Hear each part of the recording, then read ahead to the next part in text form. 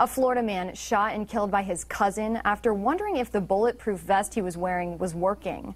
Tampa police say 23-year-old Joaquin Mendez put on the vest late last night and wondered out loud if it still worked.